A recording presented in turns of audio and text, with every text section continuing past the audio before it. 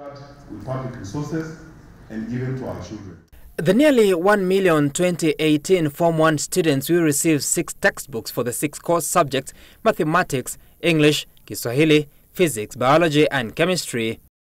And the textbooks are going to be to bear special marks. They will look like this. They have a coat of arms on it, which indicates not for sale. Na msiulize wazazi vitabu. Tutaleta vitabu kwa shule.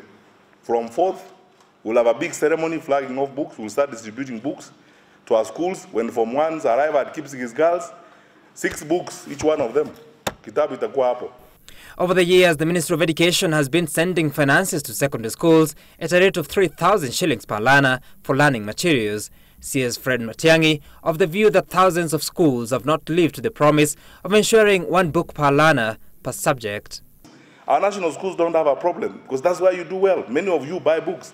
Your sisters and brothers in those other schools don't buy books. They have a creative way of using the money.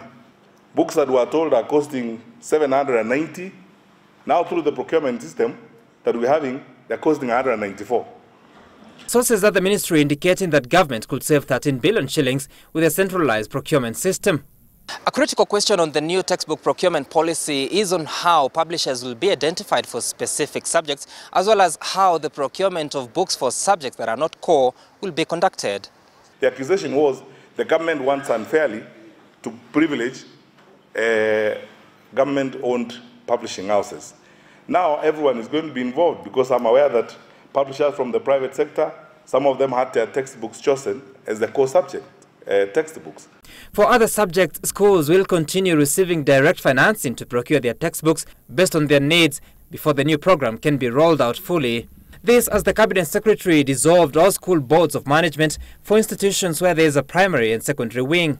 We want to form one board which manages the two schools.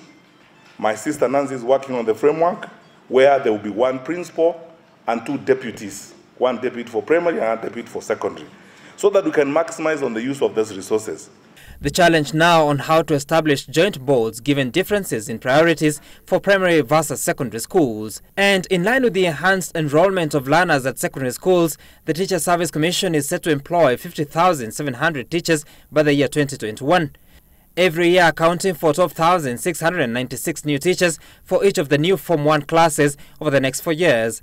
The government is working on this, and this would, uh, these teachers would be in addition to the recruitment done uh, every financial year, so that uh, we um, we close the gap of the uh, shortage in teachers. The additional 12,000 teachers will cost the taxpayer 8.3 billion shillings every year. By 2021, it will have cost 33.2 billion shillings. Add this to the annual recruitment of 5,000 teachers at a rate of 2.3 billion shillings, meaning 9.2 billion shillings by 2021, and the taxpayer will have spent at least 42.4 billion shillings to hire 70,000 more teachers in four years' time. Sam Kitoko for Monday Special.